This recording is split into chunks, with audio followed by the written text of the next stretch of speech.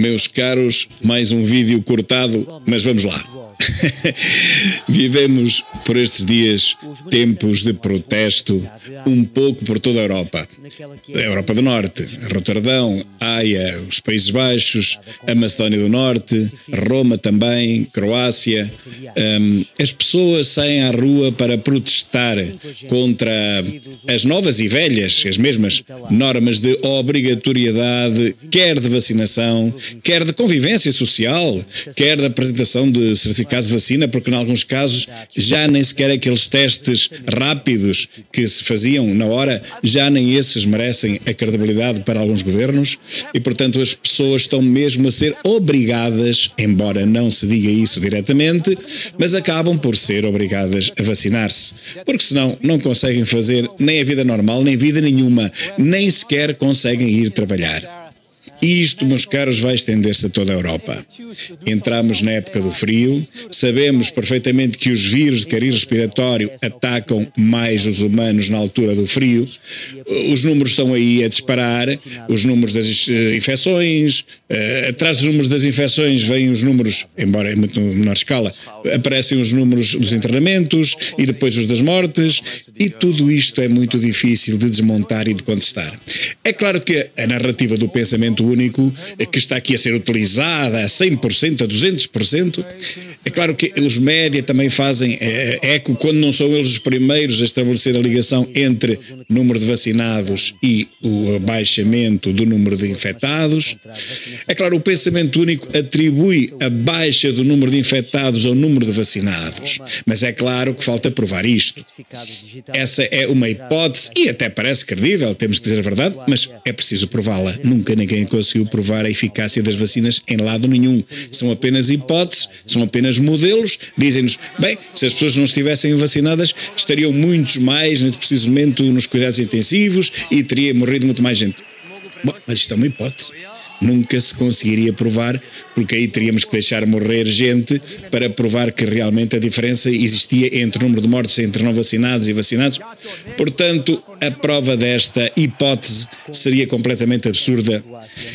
E esta tese não colhe nos países nórdicos, pelo que estou a ver, pelo menos não colhe a unanimidade dos cidadãos e está até muito longe disso.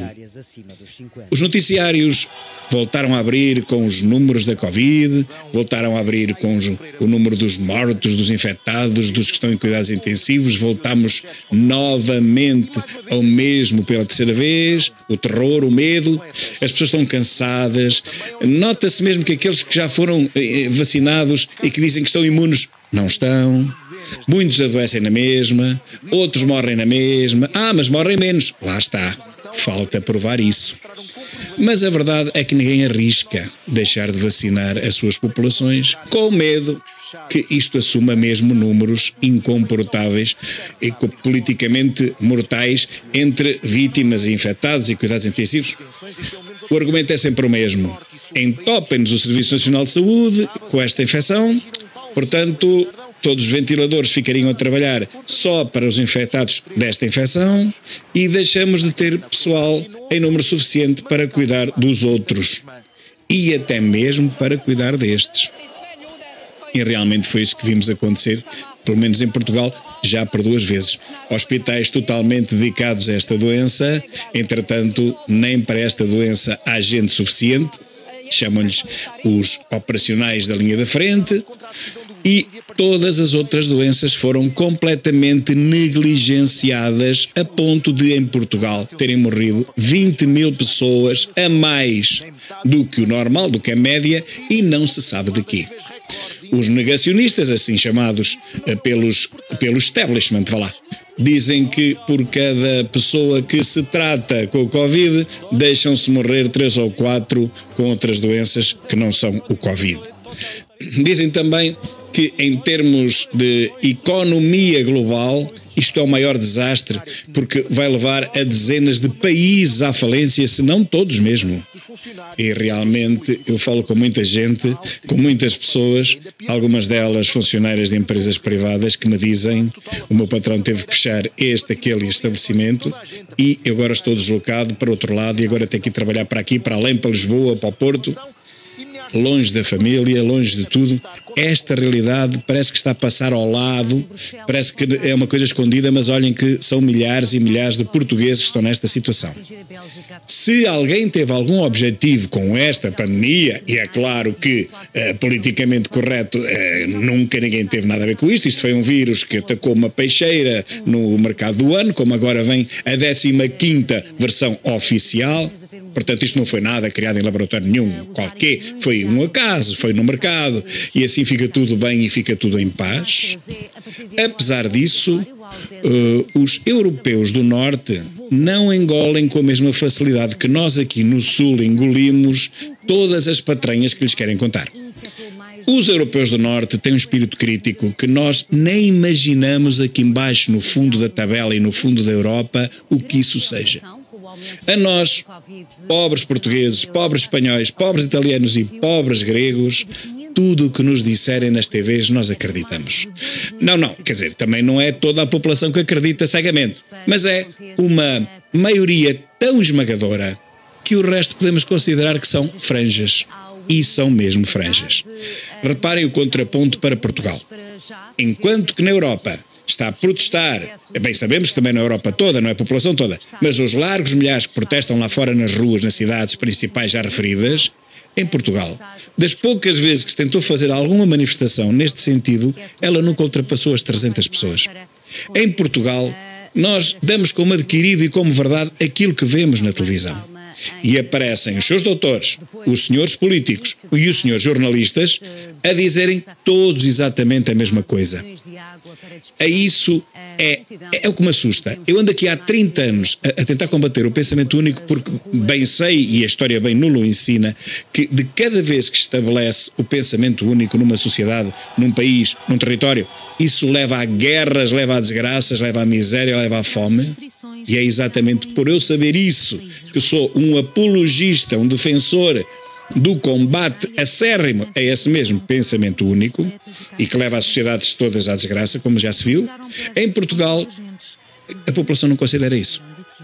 A população portuguesa deixa-se encarreirar pelo tal pensamento único. Basta que toda a gente, ou muita gente, lhe diga o mesmo. E como liga ao rádio e ouve uma coisa, liga à televisão e ouve a mesma coisa. Muda de canal e vê sempre o mesmo.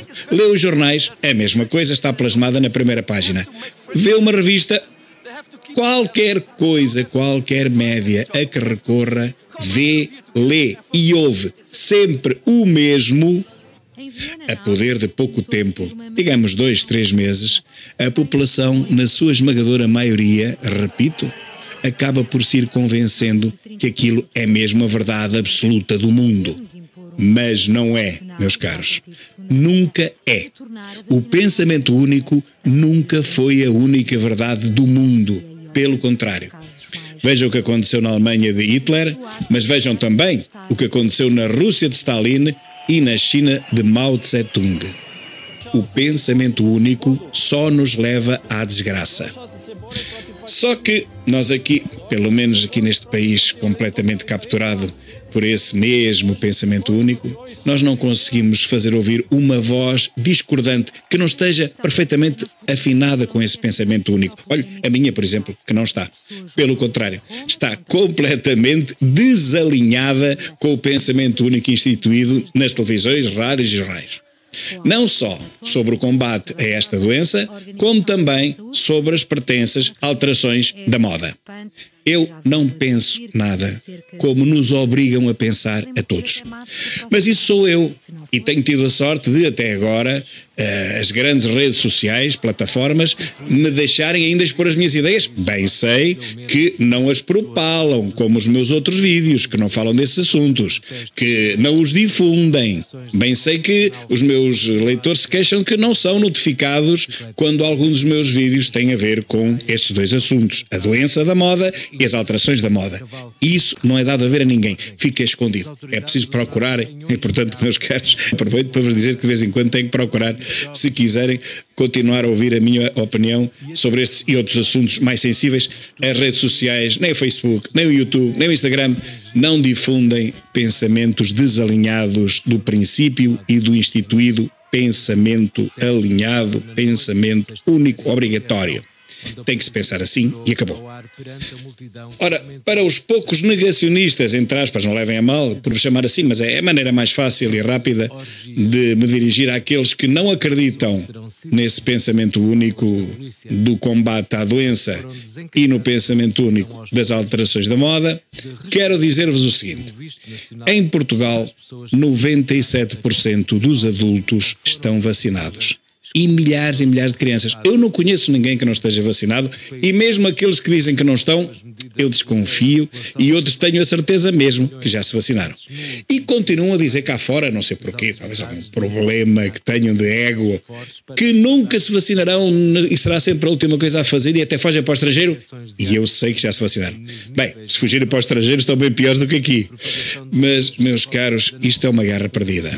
Porque quando 97 ou 90 98% da população quer vacinar-se procura vacinar-se. Passa horas e horas e às vezes madrugadas inteiras, como vimos naquela paragem do autocarro, um idoso de 80 e tal anos, para ter a certeza que se vacina no dia seguinte.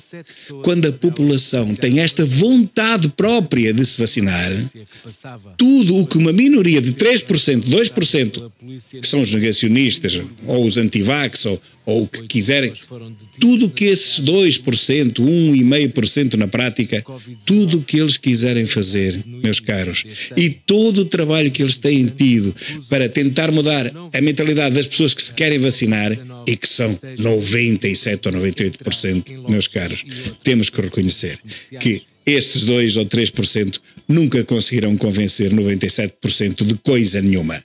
Essa guerra, meus caros, está perdida e esse trabalho é completamente em vão.